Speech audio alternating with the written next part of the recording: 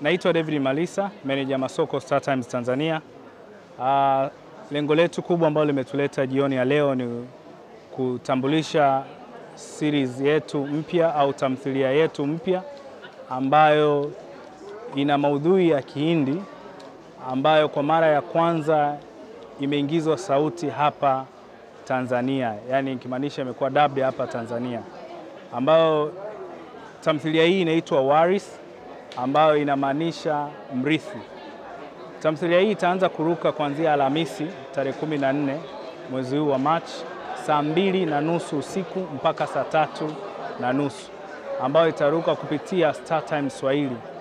Kwa hiyo tamthilia hii ni ya kipekee ambayo ina stori ambayo inasisimua, ambapo mama ambaye anaitwa Amba anamlea mtoto wa kike, lakini kwenye jamii wanajua kama ni mtoto wa kiume.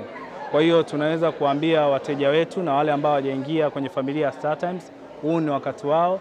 Kwa hiyo tamthilia hii imekuwa dub na ilikuwa imetafsiriwa vizuri, nimeingizwa sauti vizuri.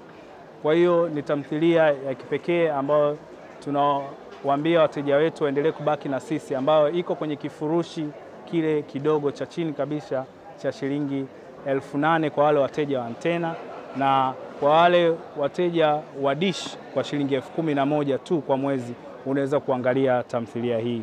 satani. Okay.